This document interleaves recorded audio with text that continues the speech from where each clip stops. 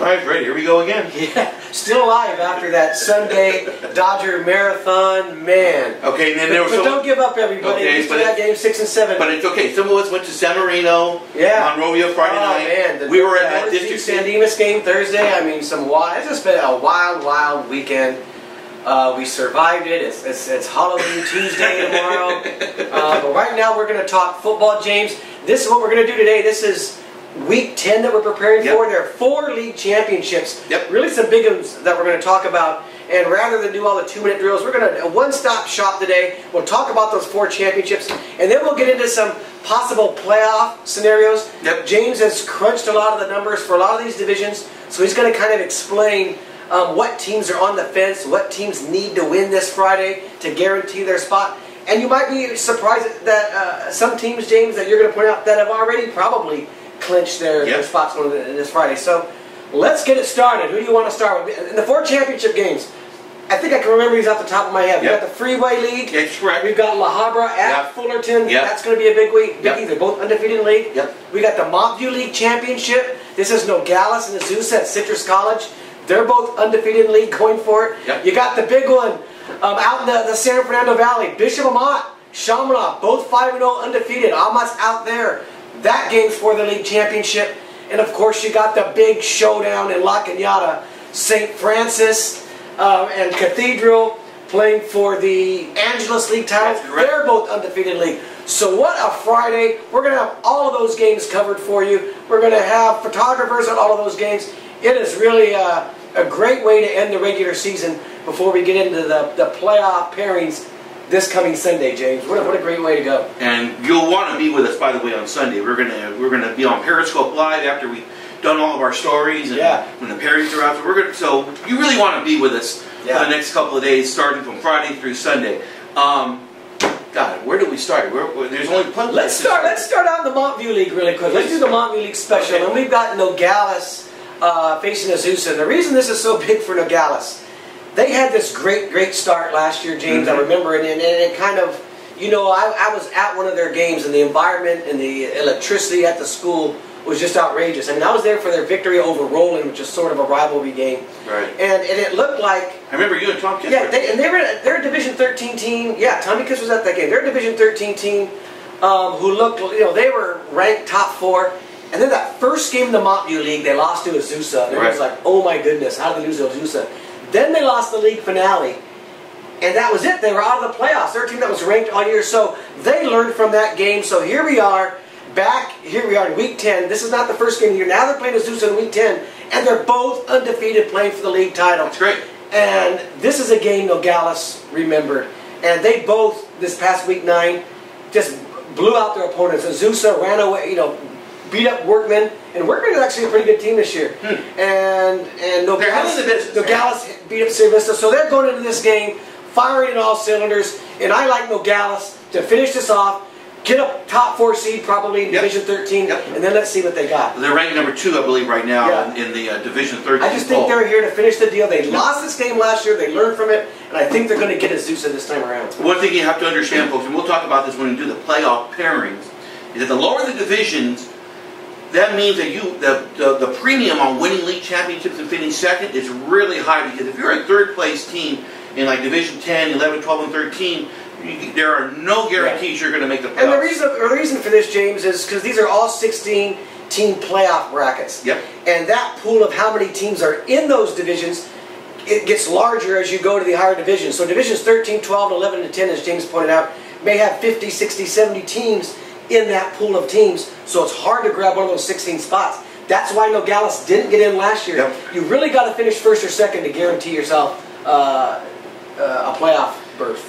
One team we we don't have to worry about here that it's probably going to, you know, it's going to be highly favored to win Friday night is La Habra. They're playing at Fullerton for the Freeway League Championship.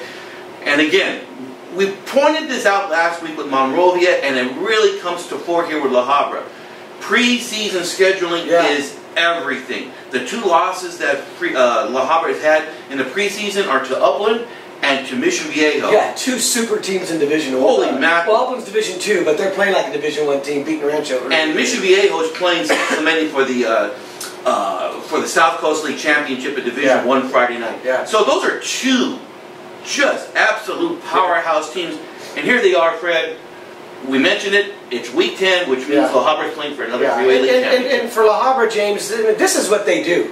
They play for league championships. They go into the they've won CIF championships. They have an experienced coaching staff. So, like I said, this is what they do. They they win more games than they lose when it comes to this situation. They just do. I, I there's no way I'm picking against La Habra, Okay. even though this game is on the road. Yep. And and look at they're a pretty good team that they're, they're facing. This Yep. isn't you know. Um, I think it's going to be closer than, than a lot of people think, but I do like La Habra to pull this game out. Frank Mazzotta just does a great job. every Yeah, year yeah, absolutely. I mean, he just, to me, he doesn't, he's like the Phil Jackson I used to always say. Yeah. You know, he doesn't get it, all the Consistency every single year. I mean, you, you, when you look at maybe the last uh, 10 years that we've been doing this, you can argue that La Habra in our little corner of the world where we cover Whittier, Pasadena, San Gabriel Valley, you can argue that La Habra's been the best team, even more than Bishop Amat when you look at their, their, their success and what they've done. They're right there. Speaking of Bishop Amat, here we are. Oh, man. The, Here we are. the Mission League title at Chaminade. And you know, it, it was interesting that Friday night. Both Bishop Amat and Chaminade, that first half, you're looking at it and you're saying, you could see where maybe they were looking ahead to week 10. They both struggled out of the gate Yeah. and then stepped on the gas in the second half, and, and here we are. And I thought with that Chaminade game, and Chaminade really, that was that wasn't stepping on the gas in the second half. They had to squeak that game on, uh, on the road, I mean, against Notre Dame. To, was it Notre Dame they played? was, they Yeah. played Notre Dame, Notre and they Dame. get a, an interception in the fourth Yeah. quarter. When you watch the video of the, of the game, you talk about a team that got a little fortunate. Yeah. A bad, mis- a bad read by a quarter, you know, by uh, one of the by uh, quarterback from Notre Dame, an interception and a touchdown. Okay, so you've seen a mock. I've seen a mock. Have you've seen them more than I have? You Yeah. saw them at the beginning of the year, and here they are now. How much are they improved? Uh, you know, part of it is opponents, James, but I, I think if you look at the history, a lot of the, the Steve Hagerty teams, they always improve Yep. down the line. Yep. And the most important thing this time of the year is health. Yep. Um, because if you look at some of the, the past teams, I remember the year when maybe you thought the Rio Ruiz team was going to do it, and he was injured late in the year for one of those playoff seasons.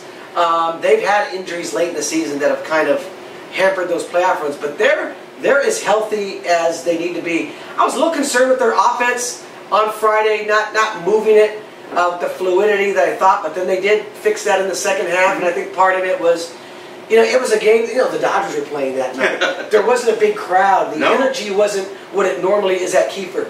That energy, they're going to be fired up this week. And look, Chaminade's going to be fired up because they lost this game to Bishop Amat last year. They feel like they owe Amat, and, and they know that they've been the big favorites. Um, they had that game earlier in the year against who it was it in the Trinity League that they faced, and it was a pretty good game. It was It was only loss. It was Bosco. It was Bosco, and they, they played them pretty well for, thought so too. for three quarters. They're definitely the favorite. Um, but this is a game Bishop Amat can go over there. I, it's going to be a, a good game. I do not think they're going to get run off the field, James. I know I don't there's think that, so either. There's that potential for it. Yep. But the reason I don't think so is because Amat's defense has been so great, particularly this past month, that I don't see Chaminade dropping 30 or 40 points in this game. I can see them getting to the 20s, and Amat's capable of scoring that much in offense. I don't know if they will, but they're capable. That's why I like this to be a good game. I'm taking Chaminade um, because I think it's too big of a homer pick to say that Amat's going to go and You leave that to me and then, a right? top four ranked Leave that to me. And you know, they're, they're top four. They're playing They for a playoff seed in Division One. That's pretty legitimate. And you know, I just I I don't think that they're going to be able to there, go over there and do it. But I do think they're going to give Chaminade a run for their money. One of the things you have to look at when this game is, I think Steve Hagerty wants to make this what we call a line of scrimmage game. Yeah. We don't want this game, you know, he, I don't think he wants this game where, you know, like the Dodger game last night in baseball, where there's offense all over the place. You want this to be a, a line of scrimmage game where they're pounding, getting Yeah. those four or five yards with now, with with Moore at running back, and they've got and they've got Dominic Barrera at running back. You want to make this a, a something, something similar to la- uh, two weeks ago when Yeah. they played Serra Yeah. where they And- just lined up more in two tight ends, and, and they lined up in two tight ends, and they just ground and They- pounded you like crazy. You you can see that more as he gets older. Like he, he's only a sophomore. This is Jalen Moore's Oh. uh, younger brother. yes, he, I like Um, it. I he's like it he's only a sophomore, um, and and I think he you know you, I think he's going to get there, James, his junior senior season. Yep. But right now that could be a struggle. I still like it when they bring in Barrera every now and then Yeah. to, to run back there. He's, Yeah. a, he's a bigger, stronger back. And I, I, I'm curious. You know, I'd be curious to see how Steve Hagerty plays that game. Will they bring in Barrera to run the run the ball more? Because as you just said, controlling that line of scrimmage, long drive, that's going to be important. Yeah. And, and and Friday night, I thought Alemany did a good job for the most part of limiting what they can do running the ball. And if you're just and if you're just asking your quarterback to throw 30, 35 times, that not might not be the recipe to No. Chaminade. So I, I think they they might have something up their sleeve in this particular game Sure. with Barrera running the ball more than we've seen this year. They have got him in there at times. Um, don't be surprised. I I'm- like Chaminade. I like Chaminade. You like Amat in this game? I do. You're going to go with Amat. I'm there you go. James Escarcega. Week 10, that too. Bishop Amat. You know, How I just- amazing would that be to start 0 4 and then go undefeated in the, in the mission? I just want to mention one last thing. We didn't mention this last week, but you know, we talk about players who have made a difference for Amat. The, the run, the wide receiver who was converted to quarterback, Arvalo. he should be like the team Yeah. MVP. That dude Yeah. kept the season alive for Amat. He, I mean, without him, I don't think we're talking about this Yeah, team as, yeah. as highly as we are. And I think And it's he- not like he, he went in when he was quarterback for those three games. It's not like he lit it up all over the place. No, but I think any coach, any coach will tell you he didn't lose the game. No. He didn't turn the ball over. He didn't do something to, to, to, to screw it up. He basically managed that offense well enough and and let his some, defense do their job. and then he played some defense in the Serra game. No, that's totally incredible. You know. you got to give Bishop Amat a lot of credit. Hey, look, and they still could possibly, even if they lose, get a get a home game in the first round. We're well gonna find out. But uh, kudos to them for putting themselves in this position after that start, when it would have been very easy to just, you know, They got away from that seven, eight seed basketball Yeah. that you always Yeah. that you talk about a lot when it comes we'll to see. the NBA. Yeah, good for them. Well, that leads us to the last one, and it is Kansas really gonna yeah, it's, and it's really gonna be a big, big game on Yeah. uh, Friday night over at St. Francis. It's Cathedral versus St. Francis. Fred, this this is this uh, this to me is what Jim Bonds has pointed his season Yeah. for this And one. here's why, here's why, here's why it's big, James, because you've pointed this out on Twitter. I think you've, you've pointed it out in the Saturday morning quarterback or other things, or even in these discussions. Mhm.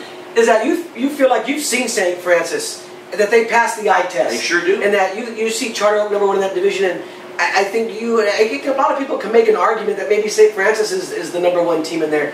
What's working against them through those first eight weeks is they hadn't beat a team with a winning record. True. So people like to keep pointing that out. Yeah. They beat Harvard Westlake last week rather handily. Who was a one-loss team rather than but I think a lot of people said the same thing about Harvard Westlake. Who did they beat? And although it was a one last one-loss team, I think this is the week that people have been waiting for Yeah. because we know Cathedral is the real deal. Yeah, this good. isn't just some one-loss team who hasn't played anybody. They've won some pretty good games. They beat St. Francis Mm-hmm. last year. Uh, if St. Francis wins this game and wins this game handily, they've been ranked fifth in the, the CI polls in Division Three. They have to be a top four seed. They have to lead one of those teams. I agree. don't care whether it's Paraclete or one of these other ones. They have to lead one of these teams if they win out these last two games, and particularly this one, and go undefeated. I don't see how you can keep them from that. Um, and, and, and it's the proof game. It's the one where you say, you know, was it really the schedule? Was it a Harvard Westlake team that, you know, had won a lot of games but hadn't played anybody too? This is the truth game for St. Francis. You're going to be there. I mean, I'm going to probably be there Friday night. We've been Mm-hmm. Talking about where we're going to go. You're going to go to the Bishop Amat Yes, game. sir. I think I'm going to go to the St. Francis game, and we're going to watch these out and see what happens. One of the things that makes this team, I think, a little bit different from a St. Francis point of view, maybe from the last couple of years. First off, again, they have quality quarterback Yeah. play from you know from Barantes, but they've got uh, they've got two really good running backs in uh, in Armstead and um and Washington. Those two guys are really running the ball. Yeah. And, and if you ask Jim Bonds, he's more of a, a line of scrimmage type of guy. Having said that, this will be St. Francis' biggest challenge is up front because Cathedral is absolutely their de- Yeah. defensive line is sensational. Yeah. They really are good. So we're going to find out Yeah. how good offense. But at the It's a same big time, game for both of these teams, James. This is this is the truth game, I think, for both of them Yeah. going into the playoffs. And hey, look, St. Francis in Division Three. Um, you know, they're ranked five right now. you know this this is their opportunity for, for everything. I mean, I really believe that. I, he's had some good teams.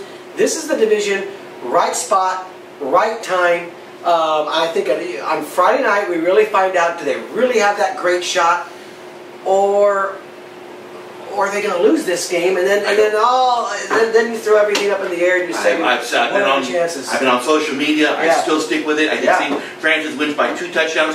One of the and really, is that the quarterback Perantes is really him coming over.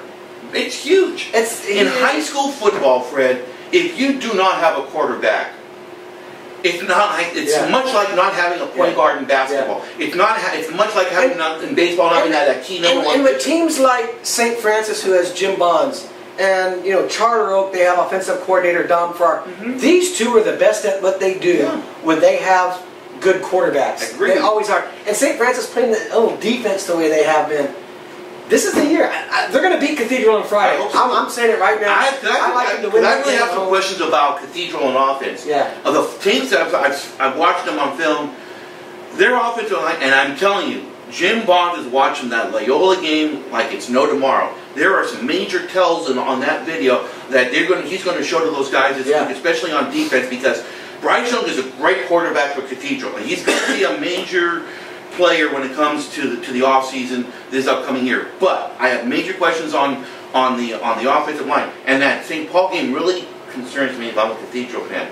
Only 24 to six or 20. Yeah. It was very. That's an alarming game for me. So I like. But again, those are those are those are the uh, the trap games because teams are looking ahead to the final week. And uh, again, it was a Friday night where the Dodgers were playing. It was a World Series game. There, the crowds weren't this big Sure. a lot of people stayed home. Sure. Everywhere. I saw I saw the video you put at San Marino for a championship game. I looked in the stands. Nobody I, there. I, I've seen bigger bigger crowds at girls soccer playoff games. Um, but that's that's the reality of you know you have, you have a team in the World Series that hasn't played in 30 years. Uh, true. But that'll all change this week. We're, you know, the World Series will be over by the time we get to Friday. It's all high school football from here on out. Every Friday's big now because the playoffs are going to follow. So, James, we just wrapped up four league championship games. Again. Yep. I got Azusa winning the Montview. Yep. I've got La Habra winning the Freeway. I'm with you there. I've got St. Francis uh, winning the Angeles I'm with you League, there. and we're split. I've got um, Chaminade beating Bishop Amat in a close game for the Mission, and you've got Amat. So that's how we've handicapped Friday League Championships. Now, James, let's talk about a couple of uh, notebooking items. Sure. Playoff possibilities. Yep. Damien, Yep. they're in the playoffs. They lost last week. Even if they lose to Etiwanda this week and finish five and five, it looks like they're in Division Three. There are enough teams below them that can't finish with 500 records that are just not going to finish ahead of them. So let's look at the slide here. We did it last week. We're going to show it to you again. This is the slide for Division Four, and right now I've got 12 teams in Division in Division Four that are automatic. They're pretty much automatics to make the playoffs. I've Yeah. got 16 teams in. So now we start looking at the next batch of teams that you know are up for at large Right. consideration. And remember, Fred, the one thing to consider here: 500 teams get higher preference well, for the below 500 teams. And having said that, Damien has a chance on Friday to finish third If they in beat Etiwanda, if right. they beat Etiwanda. If they do, they're automatically in. If they don't, I think you know the numbers indicate that they're going to be in, so they're going to play next They were week. getting that large berth. Yeah, they, that that looks like they're in. Uh, another big one. Here's a here's a really big, interesting game, Hmm. and that's Arcadia on Thursday night um, against Crescenta Valley. That That's game is going to be on the road. These teams are tied for second in the Pacific. Each have only one loss. So this game is a winner take all for second place. And why this is big for Arcadia, we mentioned this at the top of the show. They're in Division 11. There are fewer playoff spots for Division 11 because the pool is bigger. If Arcadia loses and finishes third, James, there is a possibility they don't get in because that division could be full filled up first with first and second place teams. And much the way that Azusa was knocked out of Division 13 a year, year ago, if Arcadia, and, and the great year they have, if they lose that game, there's a possibility, right, that they don't make the Division 11 playoffs. a distinct possibility. So here's the slide for Division 11, and you'll see on the right now there's 14 slots for 16 teams, with the first and second place teams when you consider Arcadia. Yeah. If they win, obviously they're in. They're in. If they don't, they slide into that third place slot, you know, that third place slot, in which they're going to be with about eight or nine other third place teams. So now they're going to, CIF is going to kind of pare that down based Yeah. on the at-large criteria that they use. Yeah, and, and, and who knows how that shakes themselves out. Exactly. I mean, I mean, you look at Arcadia, they they played a decent enough schedule, but you look at some of those non-league teams that you thought were going to be good games. The Monrovia, you look at their overall record. That's not going to help you. LaSalle LaSalle. Those wins aren't going to help them when it comes to looking at your overall record and our strength of schedule when you want That's those strength of schedule points. Um, and I, don't- you know, I don't know who they're all up against. But the bottom line is, if you're Arcadia, you handle your playoff fate on Thursday night. It is in your hands. So you don't want to leave it up to a committee. If you don't want to sweat it out on Sunday, what if you get in? If you're Arcadia and you win on Thursday night, You're in. and I think they're going to beat Crescenta Valley on Thursday night. I really do, James. I think they're a better team. I saw, you know, Muir gave CV a, uh, a great, great run on Friday before Right. losing. And there's another team that is on the Division 9 bubble. Is that what it is? Is that Division Yes. 9 for Muir? who? Muir. Muir, that is correct. is in the Turkey Tussle game, and that's always a big one on Friday. Let's assume that they win. They lost the PHS last year. There's no way they're losing to them back-to-back years Mm-hmm. after they won for 30 years in a row, or whatever it was. Mhm. They win that game, James. They finish six and four. Are they in or are they out? Well, it's, it's a great question because, and here's the slide now we're putting on the screen here for Division 9. You will see there right now they're 16 for 16, meaning there's 16 spots and there's 16 automatic qualifiers as of the moment. The one team that, that is in pending trouble here is Hemet.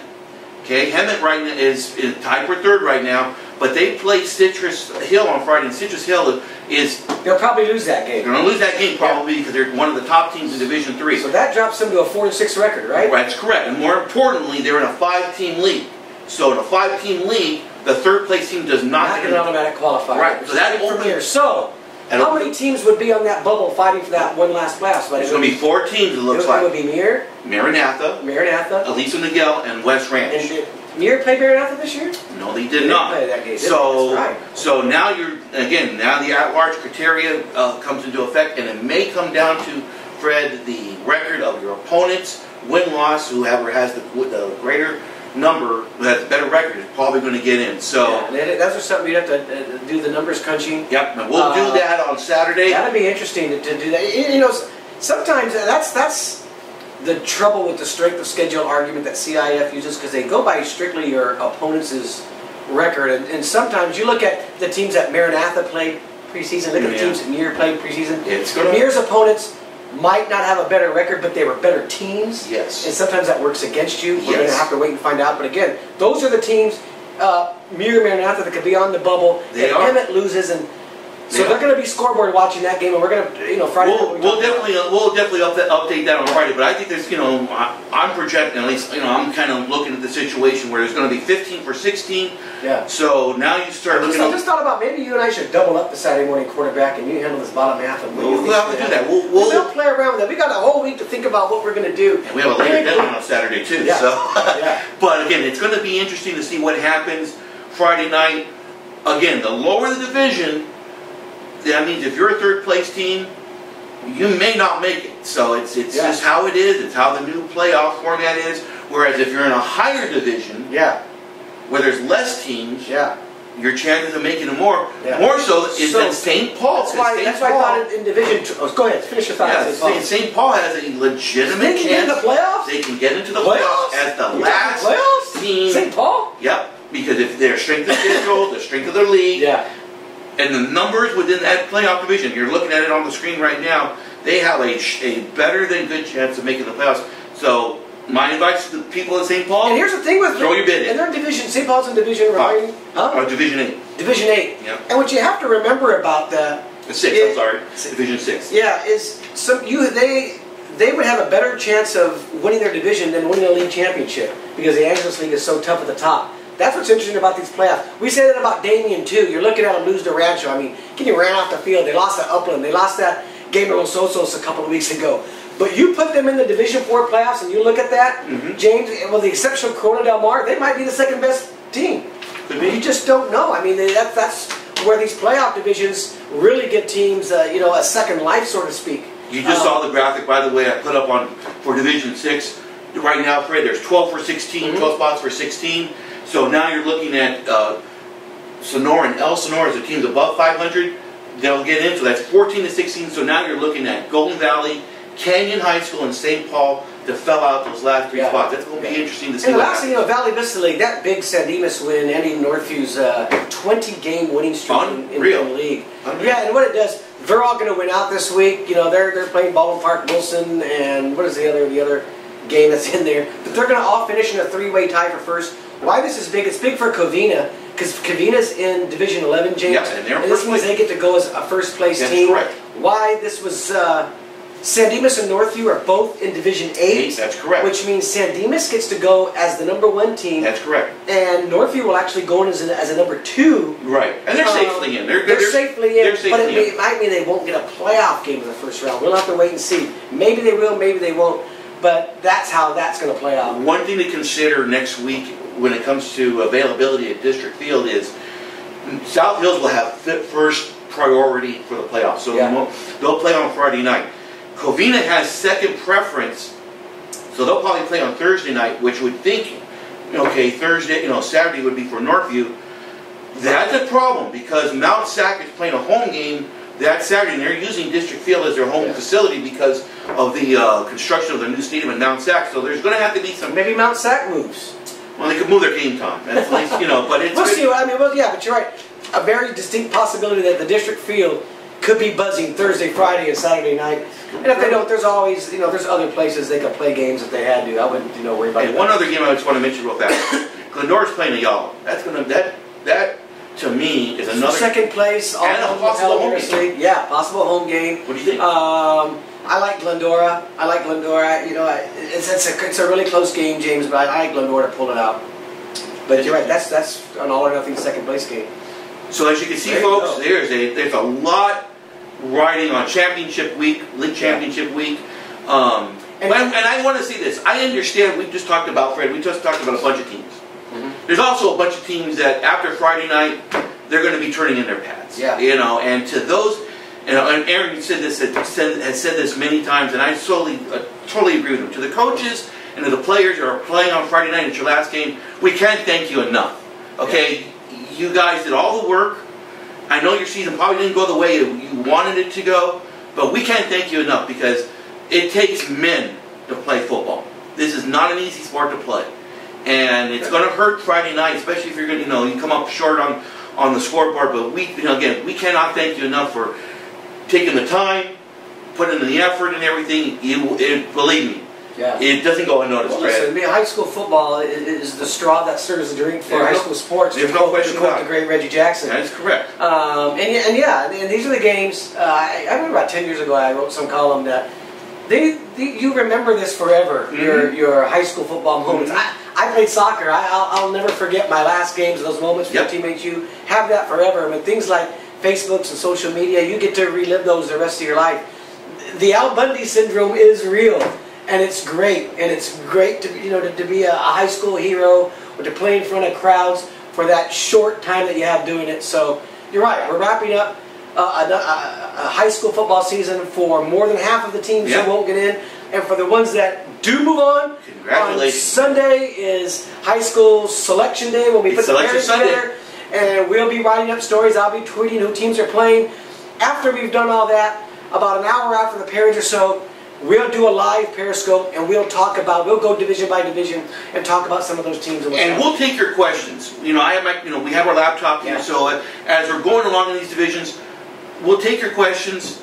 Um, we'll try to give you the best answers we possibly can. I'm already done doing a, bunch of research on some of the other teams outside our area that you may not be familiar with, that our area teams will be playing against on, on next Friday night. So we want this to be interactive as Yeah. well. Um, so Sunday is really the place to be. Well, what an exciting time Yeah. We got football.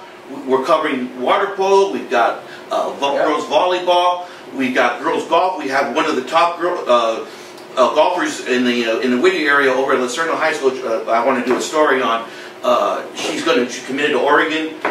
Wonderful, wonderful Oh, girl. we got a golf. We got a golf golfer in the football Week Ten playoff prediction. That's great. yes, it's That's awesome. great. So There are other sports going on. It's girls volleyball playoffs this week. It's water polo, tennis, cross country is getting ready. This is it. We have signing day for athletes next week. Basketball, soccer after that. Here we go. Let's do it. So, again, we want to remind everybody just follow us here this week uh, on, on our social media accounts, on Twitter and Facebook. Uh, on the blog. Fred's doing a great job with the blog this, you know, this year. I'll have the 10 burning questions tomorrow. We're probably going to made to end up tagging uh, the Saturday morning quarterback on Saturday. And then Sunday we're, we're, we're getting pizza, we're getting yeah. sodas, and we're going to hammer out what the playoffs look like. So just stay with us. Have a great week, everybody. We hope to see you at the games party. He's going to St. Francis. I'm going to uh, my old stomping grounds in the San Fernando Valley to go watch Amat and Chaminade. We will see you on Championship Friday night, everybody. Thank you. Thank you.